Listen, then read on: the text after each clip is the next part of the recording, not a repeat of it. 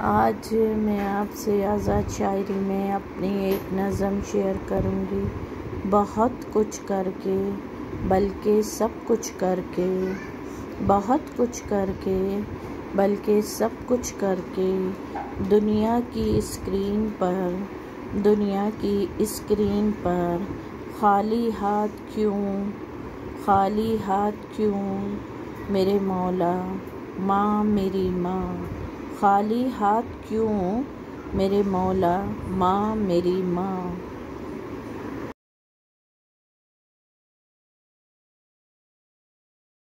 बिस्मिल्लाहिर्रहमानिर्रहीम। अस्सलामुअलैकुम। जी kitchen corner पर आज वेजिटेबल बन रही है।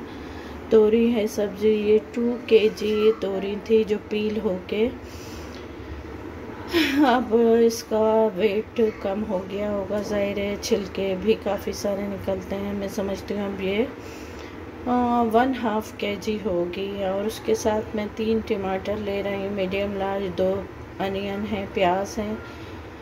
दरमियाने साइज़ के और आठ दस हरी मिर्च क्योंकि मैं हरी मिर्च ज़्यादा डालूँगी और इसको कट कट सिर्फ़ बीच से सिलेक्ट कर लूँगी इसका और इधर हैं बेसिक स्पाइसेस हैं। ये हमारे पास एक कोरिएंडर है जिसको मैंने हाथ से कश कर लिया वन टीस्पून है। और वन टीस्पून क्यूमन सीड सफ़ेद ज़ीरा वन टीस्पून जो है हमारा सॉल्ट है, और वन टीस्पून हल्दी है। हाँ सुरख मिर्च मैं इधर हाफ़ टी स्पून ले रही हूँ, क्योंकि हरी मिर्च मैंने दस, आठ, दस हरी मिर्च है तो इसलिए मैं इधर रेड चिली पाउडर कम डालूँगी। उसके साथ ही एक गांठ लहसुन के लिए जो मैंने हावन दस्ते में चॉप कर ली है और इसको अब मैं कम ऑयल में थोड़ा जितनी रिक्वायरमेंट आपको ऑयल की है वो आप उतना ले लें। फ्रेंडली बजट के अलावा हेल्दी ऑप्शन भी होगा कि कम ऑयल यूज़ करें, क्योंकि सबको ही कोई ना कोई बीमारी है। और हेल्थ इशू हैं तो आपको जितनी रिक्वायरमेंट नमक की या ऑयल की हो उतना और मिर्च इन मामलों में आपको जितनी रिक्वायरमेंट हो आप उतना ऑयल लें नमक लें मिर्च लें और टेस्ट का भी होता है कि किसको कैसा टेस्ट पसंद है किसी को बहुत स्पाइसी पसंद होता है किसी को हल्का टेस्ट पसंद होता है और हेल्थ इशू भी होते हैं। सो so, इधर सिंपल है थोड़ी लेकिन बेस्ट जो टिप्स हैं, यही हैं। टिप्स एंड ट्रिक्स जूनियर के लिए और बिगनर के लिए। अब मैं ये है कि फ़ूड प्रोसेसर में टमाटर और प्याज को जो है स्लाइस में कटिंग करूँगी और हल्का सा ये ब्राउन होगा तो तमाम तो फिर मैं इसमें प्याज डालूँगी और टमा, हल्का सा उसको भी गोल्डन करूँगी।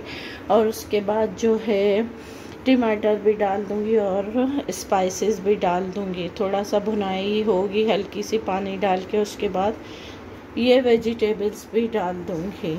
और अब सेकंड स्टेप में दिखाती हूँ मैं आपको। ये जी, देखिए किचन कॉर्नर में हमारे ये मैंने तमाम पहले लहसुन डाला, उसके बाद हल्का सा गोल्डन हुआ फिर प्याज को स्लाइस कटिंग करके वो और हरी मिर्च, हल्का सा गोल्डन किया, फिर टमाटर और तमाम स्पाइसेस इसमें डाल के मैंने इसको हल्का सा भुना। उसके बाद हरी मिर्च और ये तोरी और cooking oil as a requirement आप डाल दें। अहम टिप ये है कि दाल या सब्ज़ी को टेस्टी बनाने के लिए आप इसमें चिकन क्यूब या चिकन पाउडर डालें। उससे आपका टेस्ट सब्ज़ी दाल का बहुत अच्छा हो जाएगा। मेन टिप यही है इसकी वेजिटेबल और दाल में आप ये डालें और जब चिकन पाउडर या क्यूब डालें तो नमक का ख़्याल रखें कि बहुत, क्योंकि ये बहुत ज़्यादा सॉल्टी होता है तो नमक का ख़्याल रखें और कम डालें। अब ये भुनाई होगी, उसके साथ फ़ूड प्रोसेसर में ही मैंने दही और रायता पाउडर लेके और ब्लेंड कर लिया है। तो आज के मेन्यू में लंच टाइम में सब्ज़ी और हमारा जो है रायता तैयार होगा और रोटी है साथ में। अभी फाइनल मैं आपको दिखा दूँगी और आज मैं आपसे अपनी एक पोएम भी शेयर करती हूँ। अब जी ये बॉइलिंग पर है। अब मैं इसको फ्लेम को स्लो करके 15 मिनट के लिए, इसमें ही 15 मिनट के लिए इसमें ही कुक करूँगी।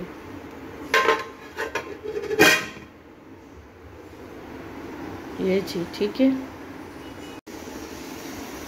ये हमारी वेजिटेबल जो है रेडी हो हो चुकी है ऑयल इसने रिलीज़ कर दिया, उसके साथ हमारा रायता है जो रायता पाउडर से बना था हाफ़ के जी है। सब वेजिटेबल के साथ रायता बहुत अच्छा लगता है। ये बहुत टेस्टी और हरी मिर्च की जो तोरी होती है, बहुत टेस्टी और मज़े की बनती है। और रायता हो तो क्या ही बात है। और इसके साथ आप रोटी और क्या कहते हैं प्लेन राइस ले सकते हैं। उसके साथ ही ये मैं, क्योंकि मुझे हेयर जो ड्राई है केमिकल उससे समर में जो है, समर में प्रॉब्लम होती है तो मैंने ये मेहंदी को अमला रीठा काई सिकाकाई में पहले सोक किया था, उसको फिर अगले दिन उसका पानी बॉईल करके, चाय की पत्ती के साथ स्टैंड करके इस मेहंदी को भिगो दिया था। अब ये मेहंदी भी हम मेड हेयर डाई तैयार है, इसको मैं यूज़ करूँगी। ये जिनको एलर्जी हो केमिकल से या कुछ मसला हो तो वो ये हेयर ड्राई हिना का लगा सकते हैं। लेकिन अच्छी है ना लें और उसके साथ इसको आमले रीठाकाई सिकाकाई के पानी में और चाय पत्ती के पानी में बॉईल करके करें और स्टैंड करें और इसमें भिगोएँ एक दो घंटा और फिर लगाएँ। इसका रिज़ल्ट बहुत ही अच्छा है और दो तीन बार में परमानेंट और प्यारा रिज़ल्ट मिलेगा। एलर्जी से पाक होगा, मेहनत तो है, लेकिन अच्छा रिज़ल्ट मिलेगा। इसके साथ ही मैं इजाज़त चाहूँगी। मेरे चैनल को लाइक करें, सब्सक्राइब करें, दुआओं में याद रखें। अल्लाह हाफिज़।